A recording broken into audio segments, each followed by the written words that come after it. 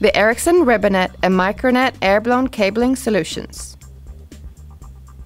Ribbonet, the Ericsson optical fiber installation system, has, since its introduction in 1999, become one of the most successful systems for fiber optic access network applications. In addition to the Ribbonet system, the Ericsson Micronet air-blown microcable was introduced in 2004. This extends the benefits of air-blown installation from the drop network to the feeder and distribution network segments. Ericsson has a worldwide presence in the market of optical cabling solutions. To date, Micronet and Ribbonet have been installed in more than 30 countries worldwide. The systems have continuously been evolving, and Ericsson is now providing a complete end-to-end solution with all necessary components required to build a truly cost-effective and future-proof network. New Zealand is proud of its innovative spirit, a spirit embraced by Vector Communications and Ericsson New Zealand.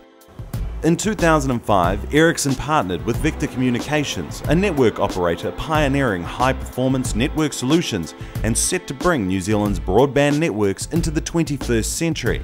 In doing so, they also changed how. To meet the challenge of providing comprehensive telecom services in Taipei 101, the world's tallest commercial building, Chunghwa Telecom selected a customized in-building solution from Ericsson to benefit all Taiwanese operators. A breakthrough.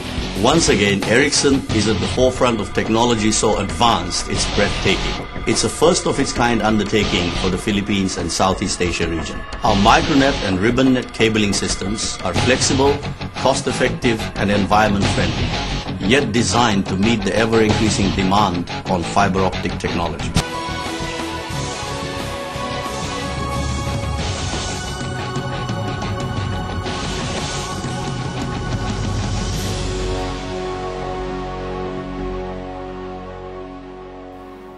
Compared to conventional cabling, there are several benefits with air-blown fiber and microcables in access networks.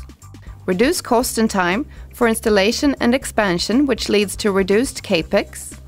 High performance and quality with a minimum number of splice points, which leads to reduced OPEX. Both the capex and the OPEX savings are based on the reduction of splice points to an absolute minimum. In the following example, is an area with single dwelling units. First, install a microduct assembly along the road. Secondly, prepare duct branches at fiber distribution terminals. Then, install a drop duct from the branch to the house. And finally, blow in the pre-connected fiber all the way from the house to the fiber distribution hub. As you can see, the only splicing is carried out in the fiber distribution hub. The main components of the Micronet air-blown microcable system are microducts and connectors, microcables, duct closures, and cable blowing tools. The installation of microcables requires microcable blowing equipment and a compressor capable of a pressure of 15 bars. For the installation of the air-blown fiber, Ericsson's handheld blowing tool is used together with a compact compressor. The installation of the Ribbonet and the Micronet systems are carried out in a similar way. First, the microducts are installed.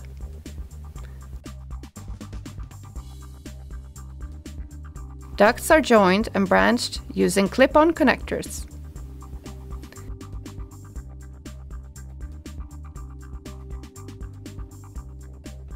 The cable is blown in, passing duct splices and branches. Blowing a fiber from an apartment usually takes just a few minutes.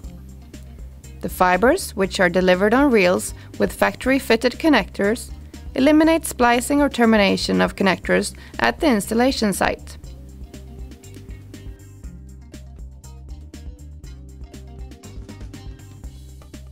Finally, all fibers at the concentration point is spliced towards incoming microcables.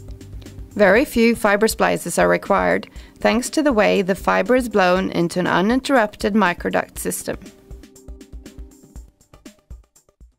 The performance of the microduct and the microcable is verified in Ericsson's standardized test track. In this test, the installation time is monitored when installing 1000 meters or 3250 feet of microcable.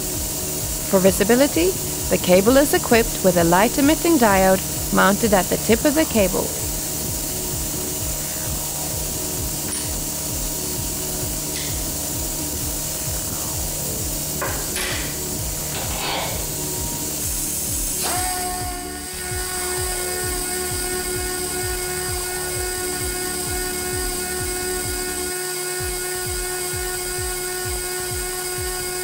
Typical installation speed is 40 to 50 meters per minute.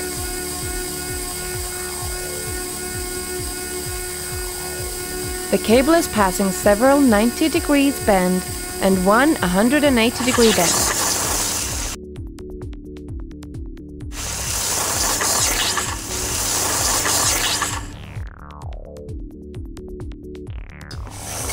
The radius of the bends varies from 50 centimeters or 20 inch down to 30 centimeters or 12 inch. 1000 meters or 3250 feet of microcable was blown in within 21 minutes. The table shows typical installation lengths for the Ericsson Micronet microcable system. Typical installation distances are between 1500 to 2000 meters or 4,900 to 6,500 feet. Specially developed fiber units are blown into slim microducts. The technology minimizes the number of fiber splices required.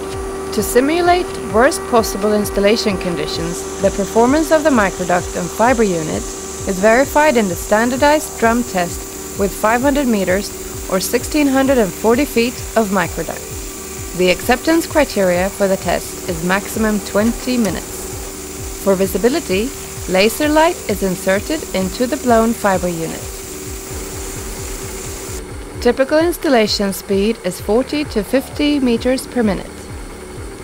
For short distance installations, such as installations in multi-dwelling units, up to 100 meters per minute can be achieved.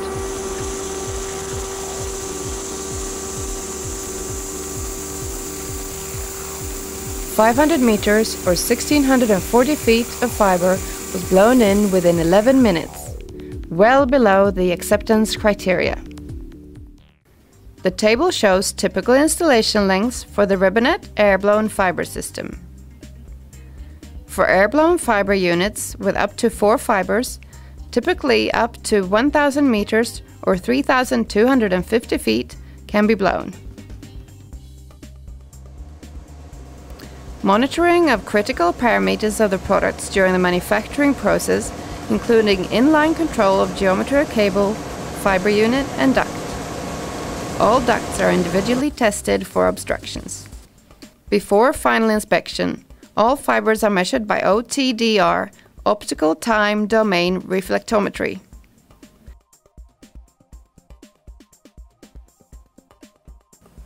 All products are designed for an expected lifetime of at least 20 years.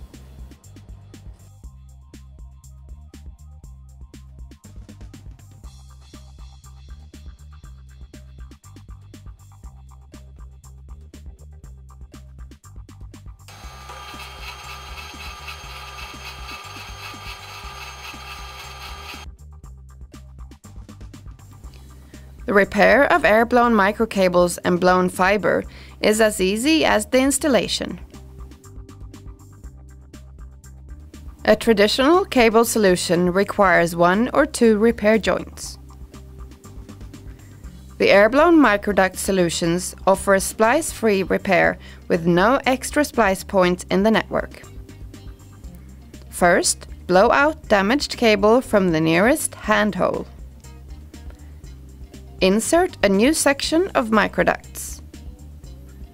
Blow in the new cable. Finally, splice at both ends of the new cable in existing joint closures. The fiber repair in multi-dwelling units follow the same principle. When using pre-connected fiber units, the only splicing required is located at the fiber concentration point of the building. The reduced number of splices and the straightforward and quick installation results in substantial cost savings. Some examples are greenfield installation of a single family unit area with 2,500 homes typically result in a 25% deployment cost saving compared to traditional cable installation techniques. A mix with multi-dwelling units and single-family units in a brownfield environment with 1,200 homes typically results in 30% cost savings compared to pre-connected cable solutions. The Ericsson Ribbonet and Micronet air-blown fiber systems offer efficient and future-proof methods of providing broadband networks through optical fiber.